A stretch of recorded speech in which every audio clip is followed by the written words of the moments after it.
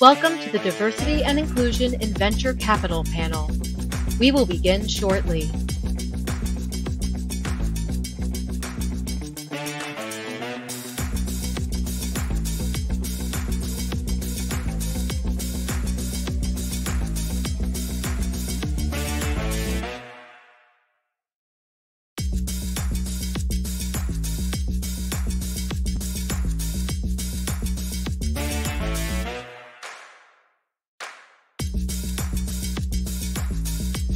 Welcome to the Diversity and Inclusion in Venture Capital panel. We will begin shortly.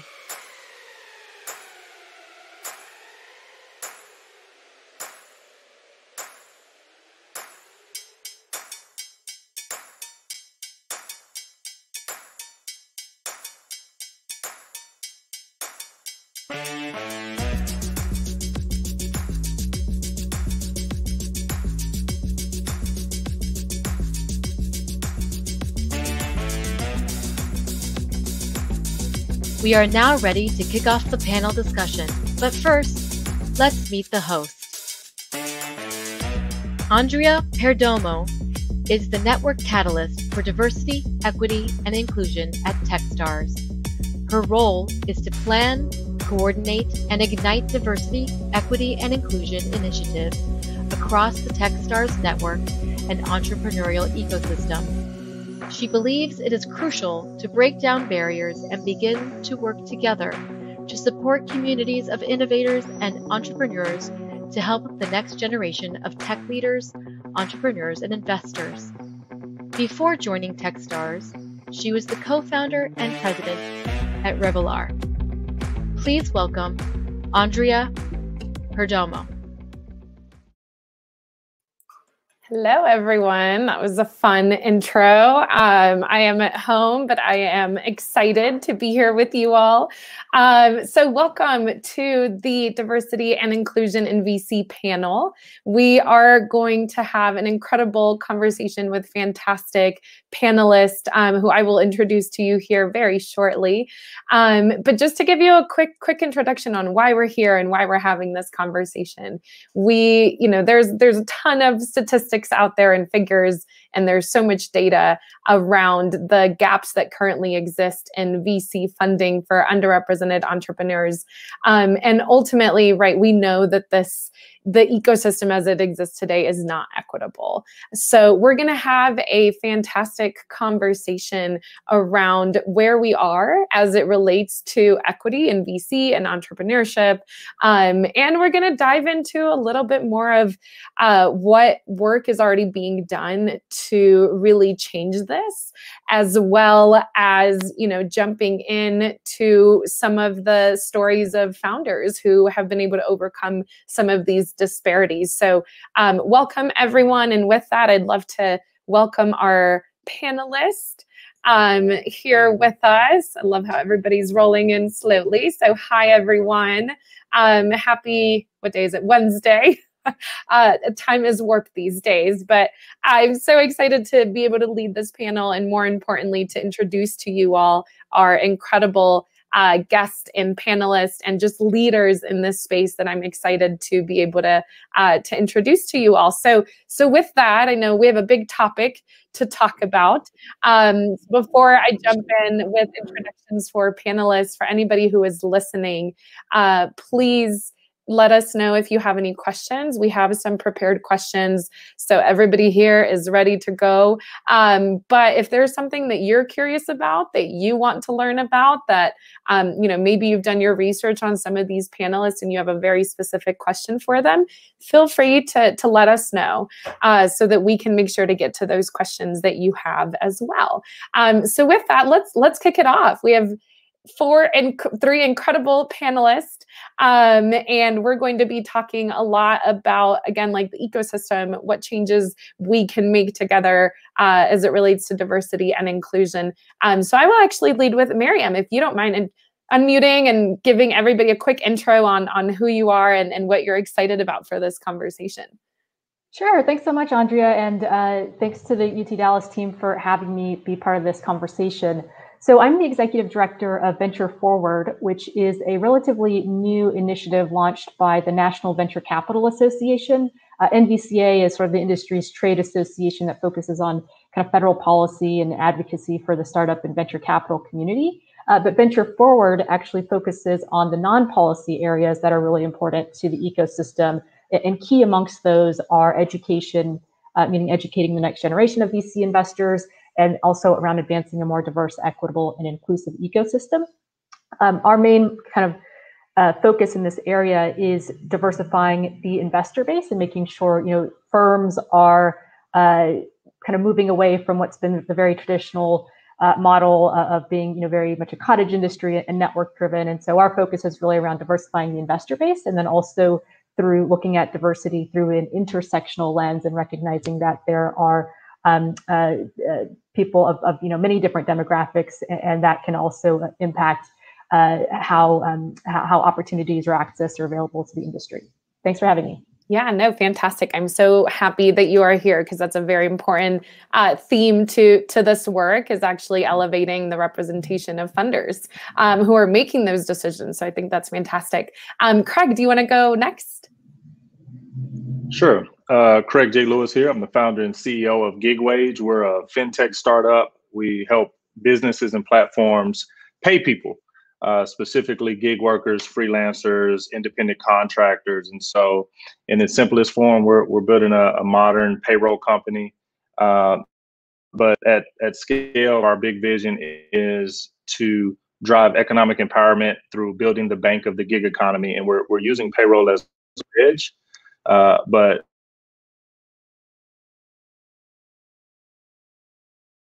that's the future of work uh, with the suite of lending products. And so, super happy to be here supporting more venture backed as well. And um, happy to be having this conversation today. Amazing. Yeah. And Craig, we're going to jump into some of that success in a second. Um, Benjamin, our final final panelist. Definitely. Uh, hey, Andrea, uh, good to see you again and all the panelists. Glad to be here. And thanks uh, for everyone and partners who put this on. Uh, Benjamin Vann, I'm the founder, executive director of Impact Ventures. Uh, we are a startup accelerator and integrated capital fund uh, with a mission to remove the social and economic barriers for women, Black, and Latinx entrepreneurs building high growth companies. And so we are uh, Dallas based. We've been around since 2016. We've supported about 64 founders that have gone on and raised $1.5 uh, million dollars uh, through our programs. And we're excited to be embarking on a new uh, initial $10 million initiative to fund uh, women and minority owned um, small businesses and startups. So uh, happy to be here and, and discuss this important topic um, and what we can do to work together to change it. Awesome. Fantastic. And Benjamin, I'll get to, to you in a second, but I know you all had just an, an amazing uh, few weeks with with some wins. So we'll get to those in a in a minute. Um, so let's let's kick this off. And again, I have some prepared questions, but we are here to talk to you. We are here to um, really engage with our the audience on the conversation. So if you have any questions that you are just itching to ask the panelists, please, please let us know. Um, so Craig, I'll start with you. You're um, you know, focal point of, of the work that both Maryam and, and Benjamin are, are doing, which is how do we fund more um, underrepresented entrepreneurs and how do we really do that at scale and how do we really transform the ecosystem? So I'll start with you just from the entrepreneurial perspective. You actually recently raised uh, 13 million for Gig Wage, which is fantastic. Uh, what was what was that experience like? And I think more specifically, right, how would you how would you want to make it different for for other founders that are following in your path? Yeah i think um fundraising is hard right? Like regardless of gender race uh like it's, it's just hard in general. And then you know you can probably 10x or 100x it for um, people that are intentionally ignored. Um, oftentimes we call it underestimated or you know all these different terms but at the end of the day, it's an it's a very intentional thing that happens, uh, and whether that's subconsciously it's intentional. And so I, I call it intentionally ignored groups, uh, which I happen to be one of them. Um, but I think you know, even though it's hard, you know, one of the things I like to talk about on my journey is really just this kind of commitment to to excellence. Oftentimes, I talk about Black excellence, and so you know, everybody likes to tout our $13 million number, which is really just the tip of the iceberg, and there's there's much more to come. But you know, for the first five years of the business, um, you know, we scraped and scrounged together about three and a half million dollars, and um, that was an all-out fight uh, to keep the business alive, uh, not including the capital that I had to put up out of my own pocket to start the business, and then oftentimes just to sustain the business, sustain the business in between uh, smaller raises. And so it's been a grind. You know, it's like chewing glass and and uh, punching bricks and and all the fun stuff. Uh, but I think you know the part part of being an entrepreneur is you sign up for that, and uh, whatever the challenges may be, whether it's being black, being female, being in the wrong geography, uh, being the B two B and the B two C, whatever the challenge is, you sign up for that. And once you sign up for it, you're not only signing up to build something special, but um, and, and you decide to go down the venture capital path, but you've got to figure it out and you've got to sustain. And some of the best advice I've ever gotten is just don't run out of oxygen. Um, you've got to keep find a way to keep going. And so there's five or six years of trying to figure out how to keep going before you raise that 10 million, then 50 million dollar round. Um, and so it's extremely difficult is the point I want to make. But I do also want to make it is voluntary. Um, no one no one has uh, put a gun in my head and say, hey, go be an entrepreneur. You know the statistics are 0.67 of venture capital goes to black people. I knew that when I signed up. Uh, and so this is a path for the audacious. This is a path for the courageous. And I think a lot of that has powered my ability to raise money. Uh, one, just stepping into the arena, kudos.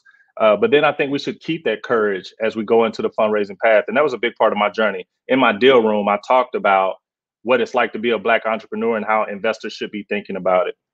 Um, and the Black brilliance that comes with investing in people like me and what the ROI looks like for that. And so I'm, I, I really just took the approach of facing it head on. Um, but like I said, make no mistake about it, it's difficult and it will always be difficult. Like uh, I, I love the work that they're doing to to make it easier but it's a hard, difficult, daunting task. And people should really be cognizant of that when they sign up for it. Yeah, no, I think that that's great, Craig, and pretty spot on, right? Especially for our audience who may maybe you are an entrepreneur or you're thinking about starting a company. Um, regardless of, of who you are and what your background is, um, it is hard. It is really, really challenging. Um, something that you said really resonated with me is which is you know, regardless of which like you are signing up for this and this journey that does feel like climbing Everest every day. Um, I kind of call it like transparent walls where like you do face them, you can see right through them, and it's just trying to figure out how to get over them um, constantly. And so I'm totally, totally feel you on that. And again, thanks for joining the arena and kind of paving the pathway for I think what will be um, hopefully some change that we'll see as it relates to the the the dollars, the sheer dollars and investment that goes to um, underrepresented, intentionally ignored entrepreneurs. I love love that. Um, Maryam, to you, I think, right, like Craig's the founder, you're trying to impact the the funding side. Um, can you speak a little bit more to what Venture Forward is doing and what you're actually hoping to accomplish and the impact that that we're hoping to be able to see through that work in the ecosystem? Yeah, and so I mentioned earlier, you know, our focus is really around the investor base, and we know that if we have a more diverse group of investors uh, with capital to deploy into entrepreneurs, it's going to also lead to a more diverse group of entrepreneurs having access and, and raising capital. And so, um, uh, Andrea, you kind of alluded to this earlier. There's a lot of stats out there, and um, I think we recognize and we understand that the industry has a long way to go. Uh, there has been a historical lack of, of diversity uh, in, in, the industry. But I think oftentimes, uh, and at least as we talk about sort of the investor side of things, meaning you know, anyone that's at an established venture firm or even someone who's maybe an emerging manager starting off as a uh, starting off and, and, you know raising their first fund it's really hard uh, to, to raise a, fund in, in venture capital. And um, the the truth of the matter is uh, venture the venture industry is small. Firms are small. They tend to be small for the you know the economics of how fund uh, the fund incentives work. Um, you know, there's I mentioned there's not a lot of turnover. You know, there's it's just not, not that big of an industry in terms of the number of people. So your only options really to kind of get into those most senior level decision making positions are you know to start out at a, a large firm and make your way up. You know, several after several years because of the long term nature of venture capital, or you you know go out and set out to to raise your own fund. And if you do the the second, um, the, the latter option to that, it's you know kind of like starting your own company, right? Like there's a financial risk involved with that. It's very much about um, at least if you're an emerging manager, raising capital from LPs, and you know how do you even find those people who are going to deploy and, and, trust you with their wealth for you know 10 years and you're going to return capital um, and so it's just i think it's it's sometimes um, misunderstood how difficult it can be. And so one of the areas that we are playing a role an active role in is around um, a, a, program that we do called VC University. And this is really to help sort of demystify and dispel the misconceptions about venture capital and then also just offer more of that like educational aspect to venture. Because unless you you know take that one class in business school around venture capital or you happen to live within 50 miles of San Francisco, Boston, or New York, it's probably pretty rare that you will have had much just of an understanding of, of kind of the intricacies and the nuts and bolts of this industry. And so this is a program that we um, do. It's an online course. Uh, we've had um, about a thousand people come through. We offer full scholarships to um, uh, people from historically underrepresented backgrounds. Uh, we actually also do a, a, live component to this program, and we were in um, Dallas virtually last November. We partnered with SMU to do more of a spotlight on the Dallas ecosystem, but um, our, our, goal really here is around democratizing access to education. Uh, and then um, the, the second program that we, we run is called LP Office Hours. And so this kind of uh, feeds into sort of that emerging manager and kind of helping to uh, build relationships with LPs. And so we offer these workshops to essentially connect emerging managers from diverse backgrounds with um, potential sources of, of capital. Um, so, you know, I think those are just some areas where we are focused on, but I also want to um, reiterate that uh, I think oftentimes, and as we, we talked a lot of venture firms, and they're all very focused on the D uh, in terms of diversity, but there's also the E and I, meaning um, equity and inclusion. And it's one thing to really, you know, get um, one, you know, hire one person from a diverse background onto your team or to, you know, invest in one portfolio company with a, a you know a black or a female founder and, and just kind of say okay you know i now have a diverse team. I now have a diverse portfolio. And and that's really you know not the spirit of, of i think what anyone is looking to do here. And i think it kind of detracts from what is the business case that we all recognize in terms of the future innovation future of innovation uh, when we think about uh, making sure that it does um, uh, bring in the uh, thought and, and diversity of, of, people across the country who are um, working on funding, you know, different aspects of of the um, the ecosystem. And so that's something that we also want to make sure that we focus on as we're sort of sharing some of these um, practices with the industry. Yeah, no, Maryam, thank you. And those two programs sound fantastic. So if anybody wants to be uh, learn more about being an investor, they should come talk to you. Um, but I think something that that's really interesting that you that you talked about was access, right? And so, um, you know, something that I've heard that's very common from entrepreneurs and funders is I want to do these things, but I need capital to do it. so it's like this interesting like chicken and egg scenario. And in your case, right, a lot of it is education. Like I want to um, go be an investor, but I need to have capital and that knowledge in order to do that. And so um, I just think that that's that's really interesting and like a point that I that I wanted to highlight there. Um, Benjamin, for you, we have so uh, one, I just wanted to congratulate you. Uh, I know you got a three-year grant recently. Thank you, thank you. Yeah, Ooh. so exciting. I know. I bet you it's been a it's been a roller coaster.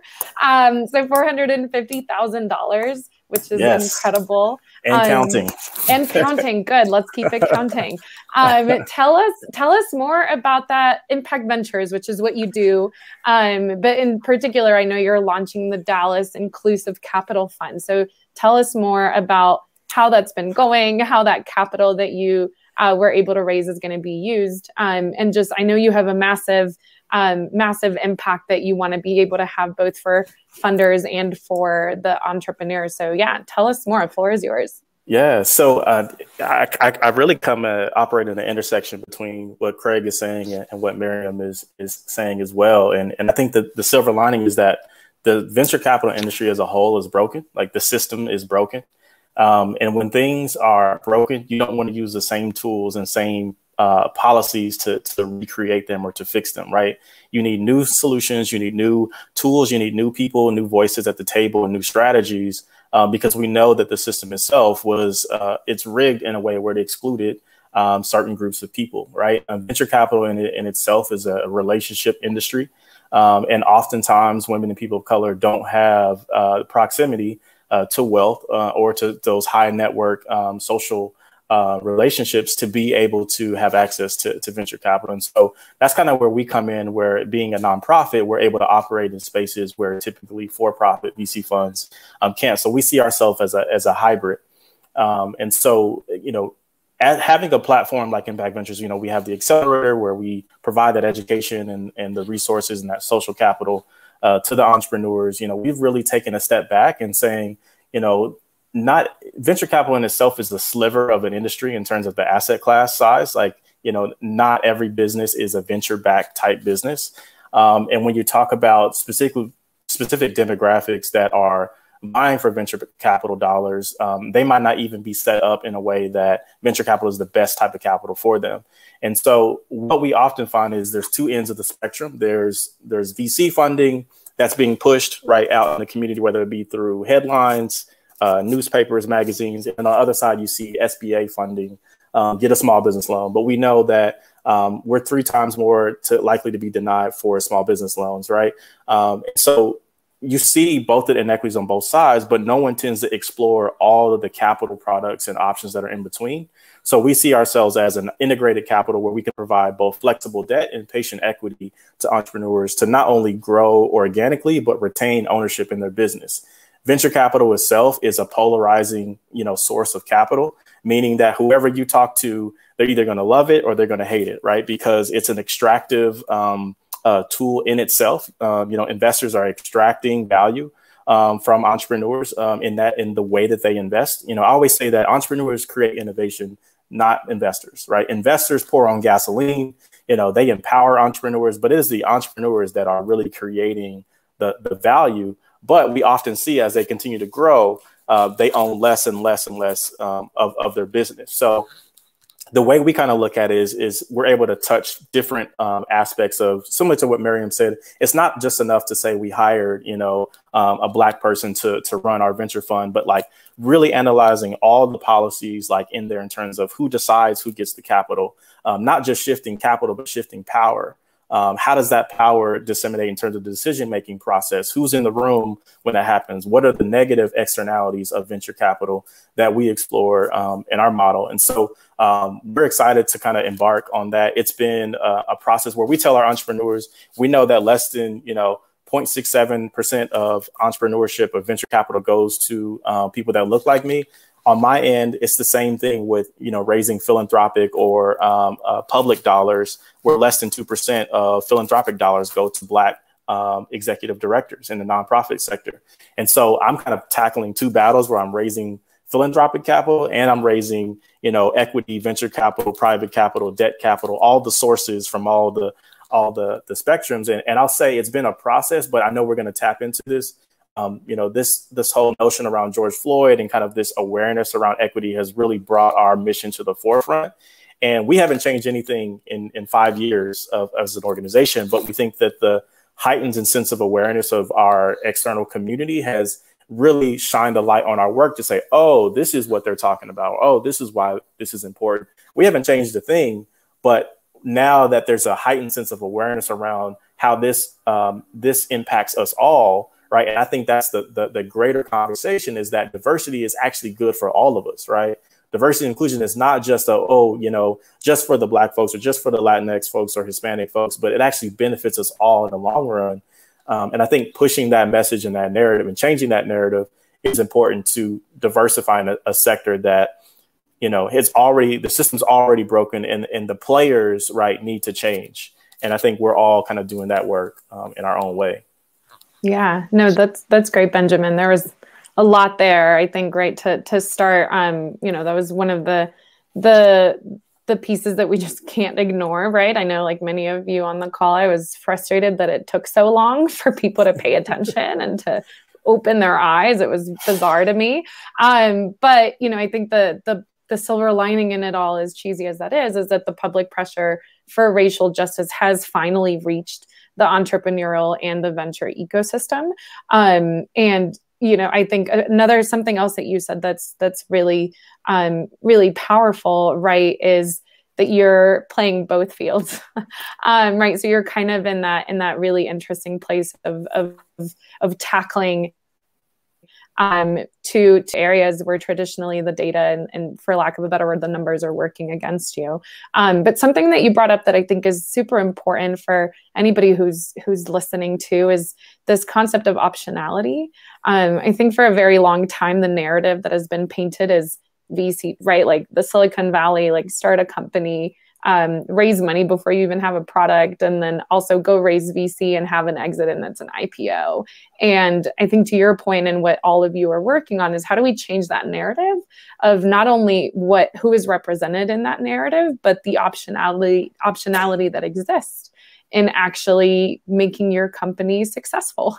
Um, so I've been talking a lot about you know, why don't we ask founders more about their existence strategy versus their exit strategy? Um, and I, I, I, hope that we can start to change that narrative soon. Um, so we do have a, a, few audience questions that are starting to roll in, which is great. I'm going to jump around a little bit and I'll open this up to, to the entire panel. Um, but the first question is actually, um, so what advice would you give for students who want to get into venture capital? And whoever unmutes first gets to go. Craig. I'll uh, I'll jump in. Um, and for perspective, I've talked to thousands of VCs, and I've helped a couple people raise funds. And currently, a lot of the Black emerging funds I deal with, our largest investor is Foundry Group, which is an LP in about 30 different seed funds. And so, I'm kind of a, a resource for emerging funds and introductions from an LP perspective, and very, very passionate about the venture space. I'm also an angel investor in multiple companies. Um, the thing about investing that I think is so unique, and I think students are perfect for this, especially people that are interested in it. Uh, just like with anything, you get to just be it. Uh, there is this kind of misconception that you need capital to do all of this stuff, and to do it at scale, you absolutely do need capital. Uh, but to do it, you do not need capital the wire that I receive when venture capitalists give me money is only a very short moment of the investment process. It's a very small part of a VC's job is to actually send capital.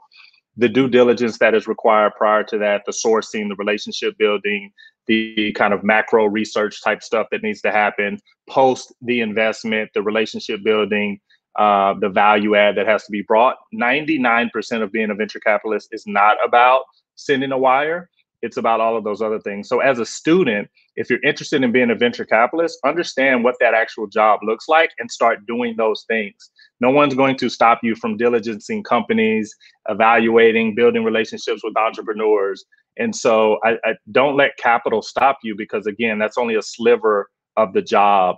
Uh, it's actually really anticlimactic. like you get these wires and it's like, oh, that was it. And you kind of like got to go back to all the work and stuff. So like money is only a very, very small part. It's an important part.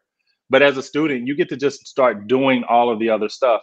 Uh, that would be my idea. Uh, you know, just start meeting entrepreneurs, diligencing companies, offering feedback, learning what good companies look like, uh, and, and you know, just decide to you know wake up tomorrow and just be a VC. Yeah, no, that's great, Craig. Maryam, Obviously, that's any... very, very oversimplified, but you get the point. I, I, agree with everything Craig said. I would maybe just add a couple of other sort of tactical um, suggestions. Uh, there's some, you know, free, great free resources out there. I think the great thing about what has evolved in venture is what used to be, you know, no information would ever disseminate outside of a couple of miles radius of a couple of geographies. You know, now with the power of, of Twitter and, and Medium blogs and just a lot more uh, sharing of information and knowledge. I think out there is uh, a really um, is a nice uh, encouraging to see just more of that information being shared out. But um, a couple of resources I would highly recommend if you haven't checked out. Um, there's a book by Brad Feld, who is uh, at uh, Foundry Group, which Craig mentioned is one of their investors, called Venture Deals, which is a great, um, I think, primer to investing. Uh, also, a book by Scott Kupor called The Secrets of Sand Hill Road. Um, and then also uh, Venture Deals, there's a, a, free online course that you can take. I think they do it a couple of times a year. Um, I mentioned VC University, which is a course that we do, but um, I think there's some some others out there as well. But I think what is important if you are sort of thinking about being a venture investor is making sure you understand and take the time to really understand the the mechanics and so you know just the foundational technical side of the business but recognize that that is not it there's so much more in terms of how investors actually navigate things like startup diligence like you can learn how it works or you can learn about a term sheet on paper but then you have to really understand how those things translate to a real world discussion or conversation and how they get uh, implemented. And so what we really focus on in our program is making sure we teach those mechanics, but then also kind of hear from investors on like, okay, but how do you really, you know, navigate all of this? Yeah. And I would only add just a few cherries on top is, it, it, you know, very, to be very simplistic is um, one to be to add value, right? So figure out ways to add value to whatever a firm is particularly doing. Try to find the gaps in, in areas where they're not um, where they're when they're not hitting or where they're not paying attention. Some of the best investors can see forward um, and see ahead, but the the great investors can see around corners. And so the second part is is be a futurist. So if you can see industries that are um, showing trends in the future um, and you can get ahead of certain things, that that's a, a, sign of a great investor and adding value because venture capital. I mean, like I said, Craig just walked through a snippet of that diligence process. That's very head down research, you know, type of work if you can look ahead and look forward and look in the vision and add that value to a firm, um, that that will definitely um, bold your case in the industry where you know the opportunities don't come very often. You know, it's it's not a revolving door type of industry. Uh, when you get in, you're in for a while, um, and so continuing to add value and, and looking forward, I think will will help solidify your space in in that area. Yeah, no, that's great. Thank you to all for that. And I, um, you know, I would just echo the knowledge piece, right? Of like, there's so much out there. Um, Venture Deals, I've read that book twice. It doesn't get old.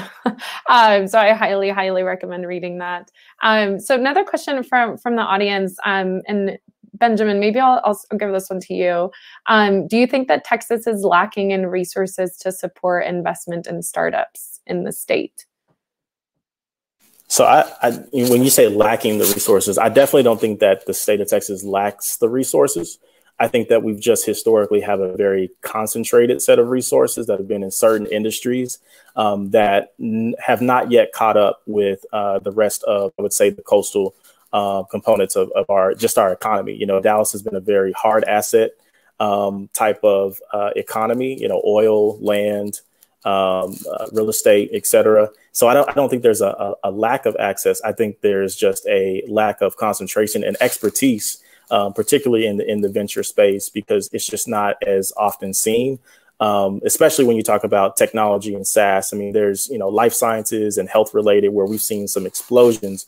Uh, even now today, more so in the, in the venture world that's coming out of Texas. But I think from from a technology standpoint, um, you know, we're, we're catching up uh, to the rest of the, the major markets. But um, if you're doing anything in the life science, kind of health science, um, uh, you know, anything with high R and D, um, I think there's a ton of assets. We have a huge medical district. We have a huge medical community um, that's connecting um, uh, uh, these challenges around resources and wrapping these challenges around resources. Um, and so, yeah, just to be quick, you know, I, I, don't think there's a lack of resources. I think just there's a there's a concentrated resources that folks like us, the more we can see um, success stories, I think we'll start to get the investment community to start to take more risk on things they might not be as familiar with.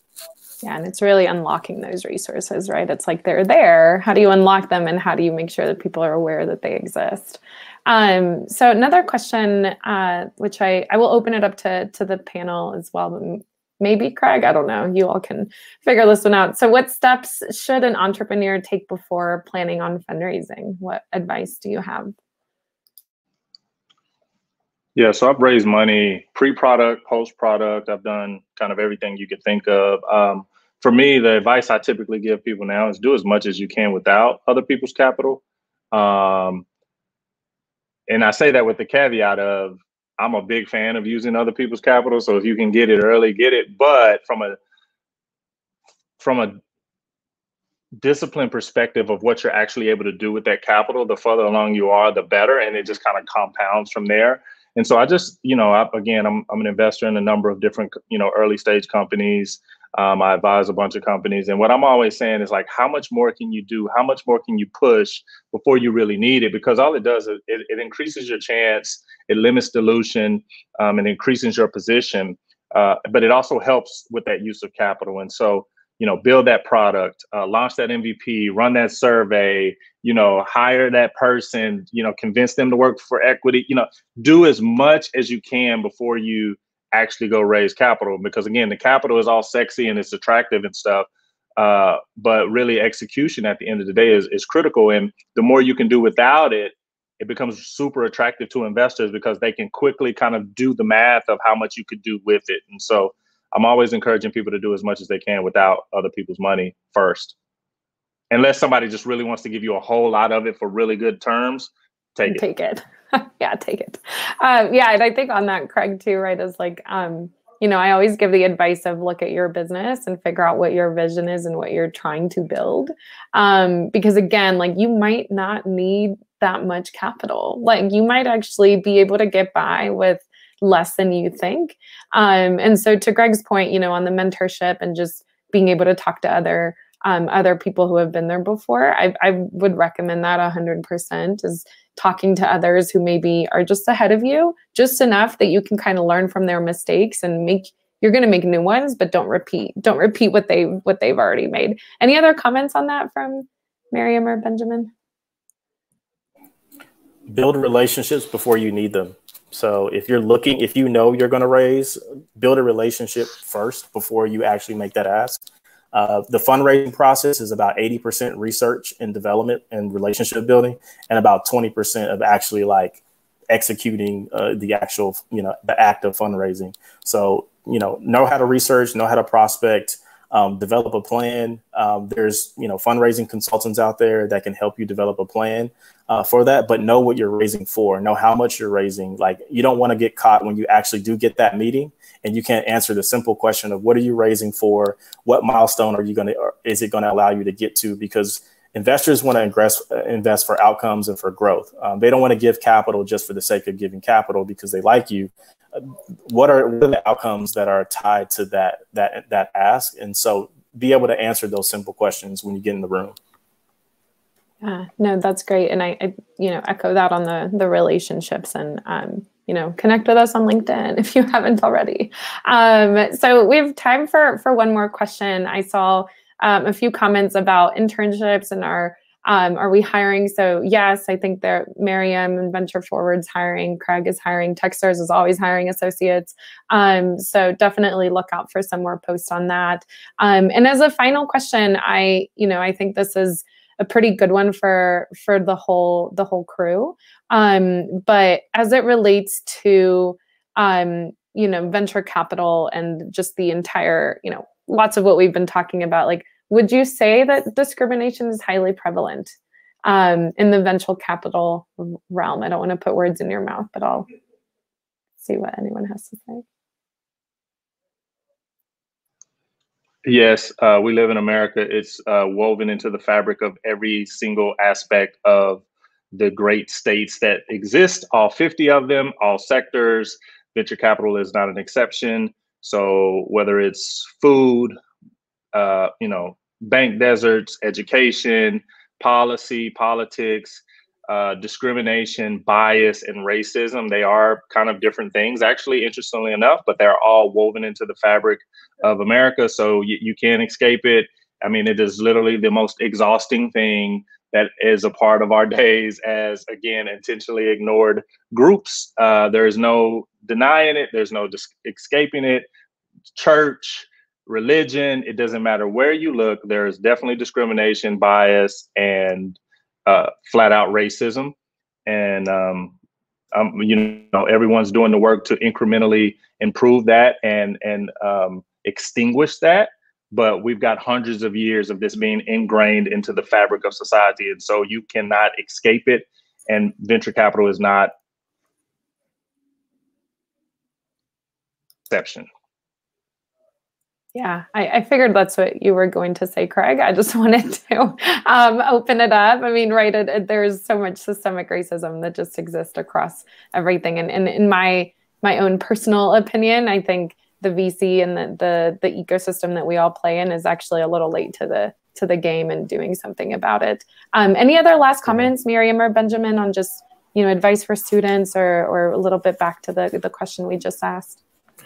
Yeah, I mean, I'll, I'll piggyback on what what Craig is saying is that we know that exists. I said, but now we're in a day and time where we have to stop putting the onus on. In this case, in the context of entrepreneurship, we have to stop putting the onus on founders to do the self work. Right? It is no longer um, a, uh, uh, a a time where the founder needs to adjust themselves to fit to the investor. The investor now has to do the self work to understand their own biases, their own prejudices, their own racism, which are all completely different um, social um, constructs that we all have, you know, embedded in us. You know, our, our bias from our experience, our upbringing, our whatever geography we're from, we have these biases. Um, but I think it's from an industry standpoint, it is no longer on the founder to have to um, uh, kind of appropriate to you know this model of what a founder should look like investors should be able to do their own self work to discover what are their own bias, what are their own racial um, uh, uh, uh, uh, shortcomings that they might be walking into a room with um, that they don't even inherently know that they're uh, pushing on founders, you know, in a room. And so I think if we can get to a place where investors are willing to do that work, right, versus just oh, we'll just check the box and hire, you know, a woman or hire you know African American to, to do the work. So they don't they themselves don't have to interrogate their own biases and in in, in, um, you know self inequities. Um, I think we have to get to a place where you know it's not on the the founders to have to adjust anymore. It's like accept me as I am and I'm gonna be an awesome founder at the same time. And so um, I would just say to add on that piece is um, to change the trajectory of who needs to to do the adjustment Awesome. Maryam, 30 second closing thoughts. Yes. yeah, I, I, would just add, I think, uh, agree with everything Craig and, and Benjamin uh, laid out. I think the, um, the additional difficult aspect to kind of breaking out of what the industry has traditionally done is the fact that it has been, you know, investment decisions have typically been made on like gut feel or, you know, if so and so is a connection to so and so from school or through another sort of group. And so I think these subjective aspects in the venture capital decision making process have, I think, even more so allowed for bias and discrimination in some cases to, to creep in. And so I'm encouraged to see some firms that I have been speaking to um,